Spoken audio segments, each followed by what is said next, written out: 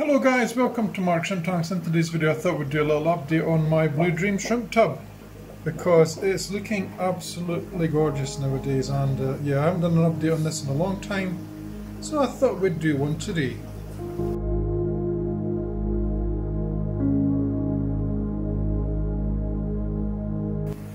Okay, where do we start? Let me pan it a little bit so you can see a wee bit better. And yeah, you can see guys, this tank is absolutely thriving. I absolutely love the way it looks. And to be honest, to be honest, would this have been better in a, in a fish tank? Yes, but that wasn't the point in the original video. This was just to get you guys, um, get you guys to be able to make something like this very, very cheap because this tub was less than, I don't know, $10. And as you can see here, we have tons and tons of endlers that are doing really, really well.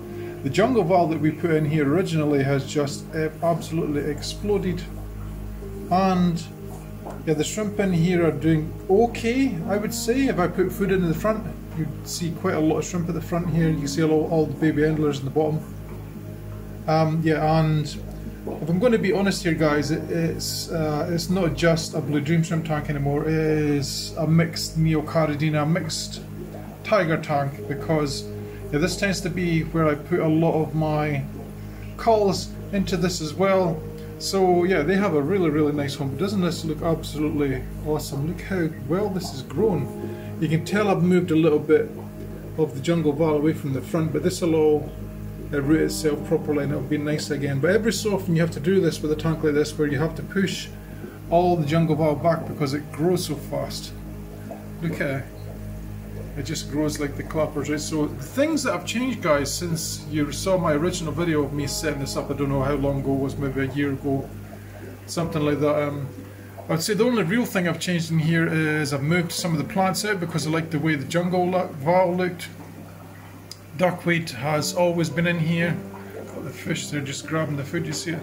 This is a goldfish floating pellet. I like to put this in here because I actually love sitting here watching the fish just grabbing bits of it like this. I think it looks so cool. Right? So as I was saying, the only real thing that's changed in here is um, I changed the filtration. And that was simply because of this stuff here. You see the plastic suckers don't really tend to stick to plastic very well. So I switched the filtration over to just a central bigger air pump. Let me see if I can show you what I mean in another tank.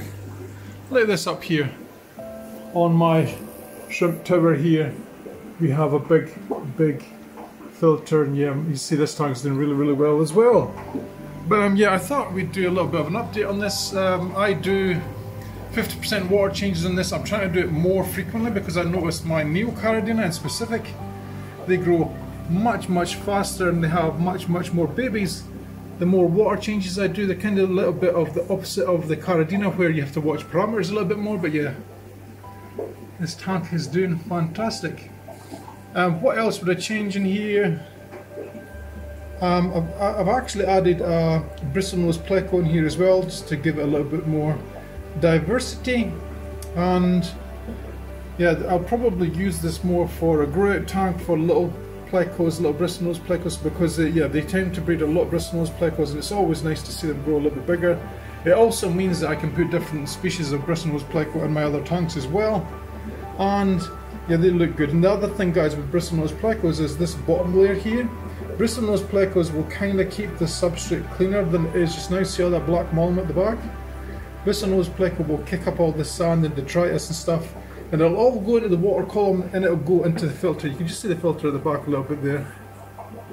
And this is run off a central airline system that I have. You see the airline going away up the back. But yeah, I thought I thought this would be a good little short video just to show you guys what you can achieve on a relatively cheap budget um, and actually be able to keep shrimp and have something really nice that you can sit and enjoy. Look at that, isn't that cool? Isn't that cool? This is what it's all about. Sitting and enjoying your aquariums. Guys, if you have any questions, please leave a comment in the comment section below. And I'll see you all in the next one. Happy shrimp keeping.